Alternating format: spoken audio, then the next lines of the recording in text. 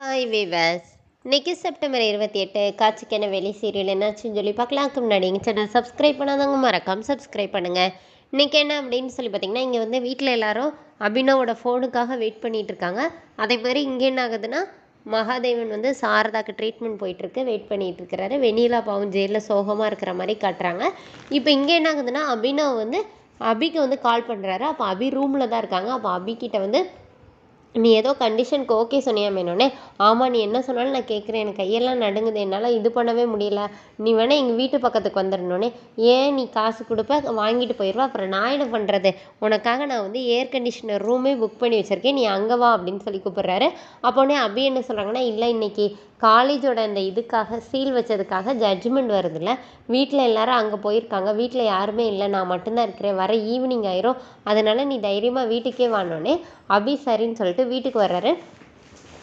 இப்போ அபி இங்கே என்ன ஆகுதுன்னா கோர்ட்டில் வந்து வெண்ணிலாவை கொண்டு வந்து நிப்பாட்டிட்டாங்க. அங்கே ஜட்ஜ்மெண்ட்டுக்காக எல்லாம் ரெடி ஆகிட்டு இருக்காங்க.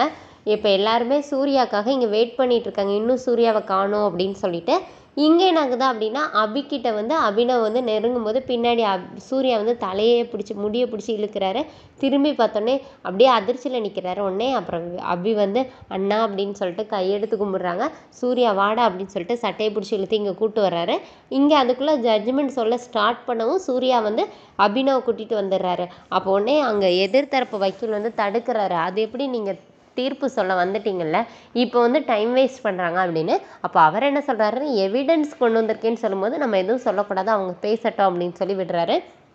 இப்போ சூர்யா வந்து அபினவ்கிட்ட என்கிட்ட சொன்ன உண்மையெல்லாம் சொல்லு அப்படின்னு சொல்லும்போது முதர்ந்தே அபினவ் வந்து ஃப்ளாஷ்பேக் சொல்கிறாரு எப்படி பைக்கில் வந்து அபியை மடக்குனாரு? அதுலேருந்து எல்லாத்தையுமே சொல்லி முடிக்கிறாரு. அதோடு என்னோடய எபிசோட் என் பண்ணிட்டாங்க. நாளைக்கு என்ன அப்படின்னு சொல்லி பார்த்தீங்கன்னா அந்த ஜட்ஜு வந்து கேட்குறாரு இந்த மாதிரி இதுக்கான ஆதாரத்தை நீங்கள் சொல்லிட்டீங்க இந்த பொண்ணு ஜெயிலில் இருந்தப்போ அங்கே வந்து இந்த மாதிரி ட்ரக் டீலிங்கில் இருந்தா அப்படின்னு சொல்லிட்டு ஒரு கேஸ் இருக்குது. அதுக்கு எதுனாச்சும் உங்ககிட்ட ஆதாரம் இருக்குதா அப்படிங்கிற மாதிரி கேட்குறாங்க. இப்போ சூர்யா வெண்ணிலா ரெண்டு பேருமே அப்படியே ஷாக்காகி நிற்கிறாங்க அதோடு என்னோடய எபிசோட் என் பண்ணியிருக்காங்க. தேங்க்யூ